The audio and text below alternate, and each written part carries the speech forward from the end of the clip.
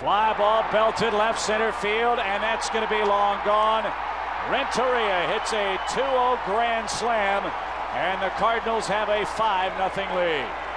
Mark Prior was up three straight pitches, and the third cost him the grand slam.